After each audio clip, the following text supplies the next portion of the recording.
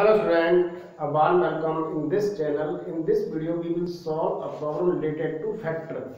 So student factorization of uh, expression is here. Expression is x to the power 4 plus x square plus 1. This is a polynomial which has three terms or we say it as a trinomial.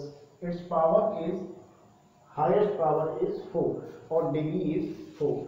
So x to the power 4 plus x square plus 1 we make it complete square to make it factorize. So student first we take this that this is the whole square of x square and this is x square and we take one x so one whole square of 1.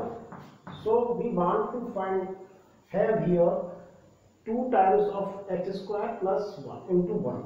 So 2x square okay it, there should be 2x square for making it complete square and here is x square also.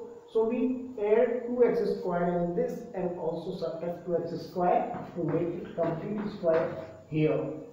So this this and this become a complete whole square x square plus 1 to the power 2 now x square minus 2x square so here only x square remains because this is negative and this is positive now, because that whole square of x square plus 1 minus this is whole square of x.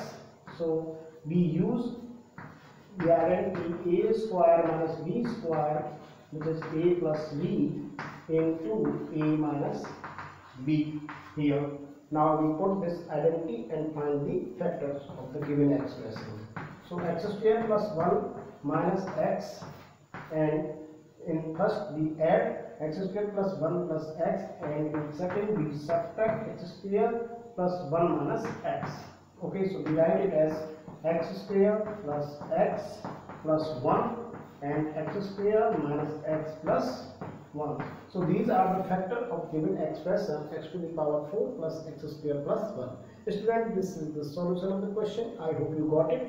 If you like video, subscribe channel, like it, share and also make comment. Thanks for watching.